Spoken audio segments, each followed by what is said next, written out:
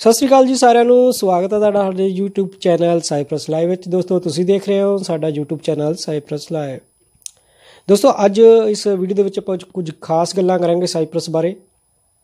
ਤੇ ਨਾਲ ਹੀ ਜਿਹੜੇ ਤੁਹਾਡੇ ਕਮੈਂਟ ਆਏ ਹੋਏ ਆ, ਉਹਨਾਂ ਦਾ ਰਿਪਲਾਈ ਕਰਾਂਗੇ। ਸੋ ਵੀਡੀਓ ਨੂੰ ਲਾਈਕ ਅਤੇ ਸ਼ੇਅਰ ਜ਼ਰੂਰ ਕਰ ਦਿਓ ਤੇ ਨਾਲ ਆਪਣੇ ਚੈਨਲ ਨੂੰ ਸਬਸਕ੍ਰਾਈਬ ਜ਼ਰੂਰ ਕਰ ਦਿਓ।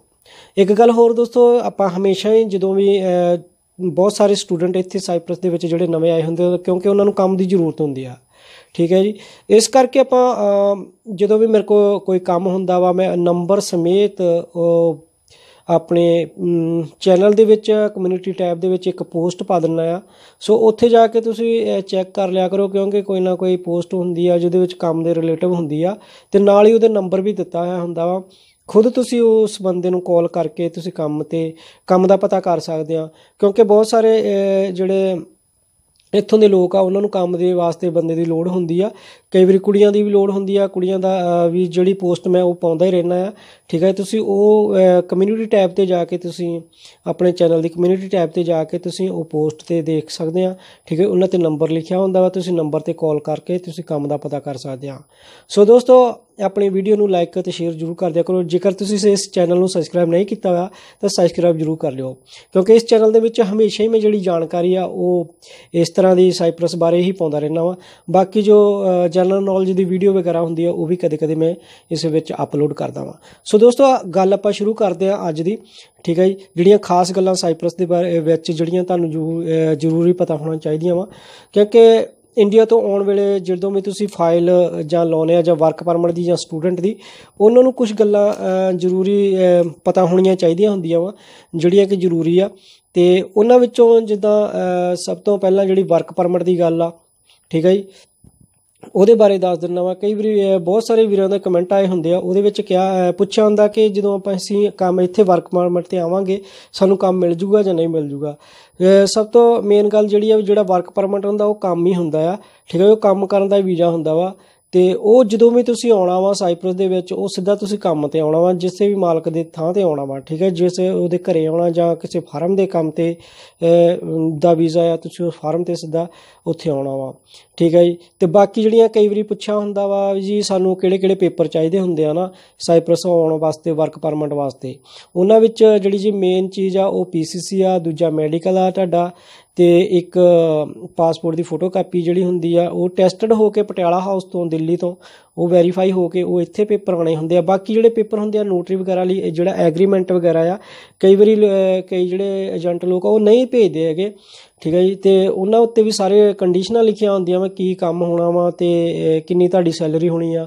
455 ਯੂਰੋ ਦਾ ਜਿਹੜਾ ਹੁੰਦਾ, ਉਹ ਕੰਟਰੈਕਟ ਹੁੰਦਾ ਜੀ, ਠੀਕ ਹੈ ਇੱਥੇ ਸਾਈਪ੍ਰਸ ਵਿੱਚ ਜਦੋਂ ਵੀ ਤੁਸੀਂ ਬੰਦੇ ਆਉਨੇ ਆ, ਜੇ ਤੁਹਾਡਾ ਉੱਥੇ ਤੁਹਾਨੂੰ ਪੇਪਰ ਜਾਂਦੇ ਜਿਹੜੇ ਕੰਟਰੈਕਟ ਵਗੈਰਾ ਤੁਹਾਡੇ ਤੁਸੀਂ ਸਾਈਨ ਕਰਦੇ ਆ, ਉਹਨਾਂ ਤੇ ਉਹ ਨੋਟਰੀ ਹੋ ਕੇ ਟੈਸਟਰ ਜਿਹੜੇ ਤੁਹਾਡੀ ਤਹਿਸੀਲ ਵਗੈਰਾ ਤੋਂ, ਉਹ ਉੱਥੋਂ ਆਉਂਦੇ ਆ, ਠੀਕ ਹੈ ਜੀ?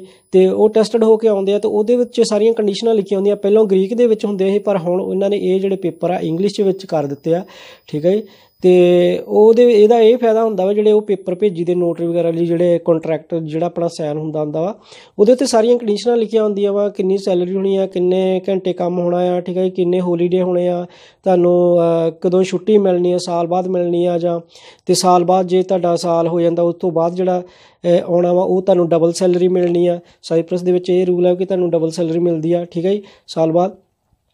ਤੇ ਬਾਕੀ ਜਿਹੜੀਆਂ ਚੀਜ਼ਾਂ ਜਦੋਂ ਤੁਸੀਂ ਇੱਥੇ ਆਉਨੇ ਆ ਵਰਕ ਪਰਮਿਟ ਤੇ ਜਦੋਂ ਆ ਜੰਨੇ ਆ, ਜੇ ਤੁਹਾਡੇ ਕੋਲ ਪੇਪਰ ਇਹ ਨਹੀਂ ਪਹੁੰਚਦੇ, ਤੁਸੀਂ ਨਹੀਂ ਸਾਈਨ ਕਰਾਉਂਦੇ, ਉਹ ਇੱਥੇ ਆਣ ਕੇ ਤੁਹਾਡੇ ਜਿਹੜੇ ਪੇਪਰ ਆ ਆਫਿਸ ਦੇ ਵਿੱਚ ਜਿਹੜਾ ਇੱਥੋਂ ਦਾ ਏਜੰਟ ਆ, ਉਹ ਕੰਟਰੈਕਟ ਸਾਈਨ ਕਰਵਾਉਂਦਾ, ਤੁਹਾਡੇ ਸਾਈਨ ਕਰਵਾਉਂਦਾ ਆ। ਠੀਕ ਹੈ ਜਦੋਂ ਤੁਸੀਂ ਇੰਡੀਆ ਤੋਂ ਸਿੱਧੇ ਆਉਨੇ ਆ ਉਸ ਤੋਂ ਬਾਅਦ ਫਿਰ ਤੁਹਾਡਾ ਸਿੱਧਾ ਹੀ ਮੈਡੀਕਲ ਮੈਡੀਕਲ ਹੁੰਦਾ ਵਾ। ਜੇ ਤੁਸੀਂ ਫੇਕ ਮਤਲਬ ਮੈਡੀਕਲ ਕਰਵਾ ਕੇ ਭੇਜ ਦਿੰਨੇ ਆ, ਕੋਈ ਉਹ ਤਾਂ ਹੁੰਦਾ, ਚਲੋ ਟੈਂਪਰੇਰੀ ਹੁੰਦਾ ਵਾ ਮੈਡੀਕਲ ਜਿਹੜਾ ਆਪਾਂ ਇੰਡੀਆ ਤੋਂ ਇੱਥੇ ਭੇਜਦੇ ਆ ਜਿਹੜਾ origignal ਜਿਹੜਾ ਮੈਡੀਕਲ ਹੁੰਦਾ, ਉਹ ਇੱਥੇ ਹੁੰਦਾ ਹੈ, ਠੀਕ ਹੈ ਜੀ?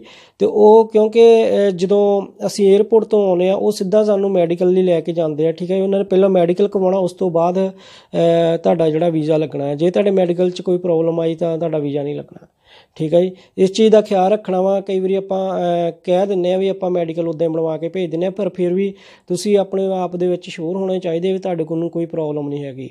ਠੀਕ ਹੈ ਜੀ? ਤੇ ਹੋਰ ਗੱਲਾਂ ਮਤਲਬ ਜਿਹੜੇ ਸੀਗੇ ਆਪਣੇ ਕਮੈਂਟ ਆਏ ਹੋਏ, ਉਹਨਾਂ ਦੇ ਮੈਂ ਜਵਾਬ ਦਿੰਨਾ ਵਾਂ ਇਸ ਵੀਡੀਓ ਦੇ ਵਿੱਚ।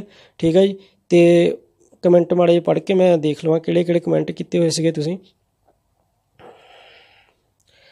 ਤੇ ਉਹ ਮੈਂ ਤੁਹਾਨੂੰ ਜਵਾਬ ਦੇ ਦਿੰਦਾ ਉਹਨਾਂ ਦੇ ਹਾਂ ਇਦਾਂ ਬਹੁਤ ਸਾਰੇ ਦੋਸਤਾਂ ਨੇ ਕਿਹਾ ਹੁੰਦਾ ਵੀ ਤੁਸੀਂ ਆਪਣਾ ਨੰਬਰ ਦੇ ਦਿਓ, ਠੀਕ ਹੈ ਜੀ? ਤੇ WhatsApp ਨੰਬਰ ਸੈਂਡ ਕਰਿਓ। ਬਾਕੀ ਇੱਕ ਗੱਲ ਮੈਂ ਜ਼ਰੂਰ ਕਹਿਣਾ ਚਾਹੁੰਦਾ ਵਾ, ਤੁਸੀਂ ਆਪਣਾ ਜਿਹੜੇ ਵੀ ਆਪਣੀਆਂ ਵੀਡੀਓ ਹੁੰਦੀਆਂ, ਇਹਨਾਂ ਵਿੱਚ ਆਪਣਾ ਕਮੈਂਟ ਨਹੀਂ ਲਿਖਣਾ, ਠੀਕ ਹੈ? ਕਮੈਂਟ ਨੰਬਰ ਕਮੈਂਟ ਨਹੀਂ ਕਮੈਂਟਾਂ ਦੇ ਵਿੱਚ ਆਪਣਾ ਨੰਬਰ ਨਹੀਂ ਲਿਖਣਾ ਹੈਗਾ। ਕਿਉਂਕਿ ਇਸ ਤਰ੍ਹਾਂ ਤੁਹਾਡੇ ਨਾਲ ਕੋਈ ਵੀ ਕਨੈਕਟ ਕਰ ਸਕਦਾ, ਤੁਹਾਡੇ ਨਾਲ ਕੁਝ ਵੀ ਵੱਧ ਵਿੱਚ ਨੁਕਸਾਨ ਤੁਹਾਡਾ ਹੋ ਸਕਦਾ। ਠੀਕ ਹੈ ਜੀ? ਤੇ ਕੋਈ ਵੀ ਸਾਡਾ ਨਾਂ ਲੈਵੇ ਜਾਂ ਕੁਝ ਵੀ ਇਦਾਂ ਦੀ ਚੀਜ਼ ਆ ਉਹ ਤੇ ਨਹੀਂ ਸਾਡਾ ਜਿਹੜਾ ਨੰਬਰ ਆ ਜਾਂ ਫੇਸਬੁੱਕ ਪੇਜ ਆ, ਜਿਹੜੀ WhatsApp ਤੇ ਮੈਸੇਜ ਤੁਸੀਂ ਕਰ ਸਕਦੇ ਆ ਤੁਹਾਨੂੰ ਠੀਕ ਹੈ ਜੀ? ਫੇਸਬੁੱਕ ਪੇਜ ਆ ਆਪਣਾ, ਉਹਦੇ ਉੱਤੇ ਤੁਸੀਂ ਕਨੈਕਟ ਕਰ ਸਕਦੇ ਹੋ ਸਾਡੇ ਨਾਲ। ਤੇ ਮੈਂ ਡਿਸਕ੍ਰਿਪਸ਼ਨ ਦੇ ਵਿੱਚ ਲਿੰਕ ਦੇ ਦੂੰਗਾ, ਤੁਸੀਂ ਚੈੱਕ ਕਰ ਲੈਣਾ। ਠੀਕ ਹੈ ਜੀ? ਤੇ ਪਹਿਲਾ ਸੀਗਾ ਕਮੈਂਟ ਵੀ ਤੁਸੀਂ ਆਪਣਾ ਨੰਬਰ ਦਿਓ। ਠੀਕ ਹੈ ਜੀ? ਤੇ ਦੂਜਾ ਸੀਗਾ ਵੀ ਇੱਕ ਕਮੈਂਟ ਆਇਆ ਸੀਗਾ। ਉਹਨਾਂ ਨੇ ਆਪਣੇ ਨਾਮ ਰੱਖਿਆ ਵਾ ਪੀ ਐਲ ਈ, ਪੀ ਲੀ। 6 ਦਿਨ ਪਹਿਲਾਂ ਉਹਨਾਂ ਨੇ ਕਮੈਂਟ ਕੀਤਾ ਸੀਗਾ। ਉਹਨਾਂ ਨੇ ਲਿਖਿਆ ਬ੍ਰਦਰ ਮੈਨੂੰ ਦੱਸਿਓ ਕਿ 45 ਈਅਰ ਏਜ ਵਾਲਾ ਨੂੰ ਸਟੂਡੈਂਟ ਵੀਜ਼ਾ ਮਿਲ ਜਾਂਦਾ। ਅਸੀਂ ਨਾਲ ਔਰ ਦੂਜਿਆਂ ਸਟੂਡੈਂਟ ਵੀਜ਼ੇ ਤੇ ਕੰਮ ਮਿਲ ਜਾਂਦਾ ਜਾਂ ਨਹੀਂ ਮਿਲ ਜਾਂਦਾ।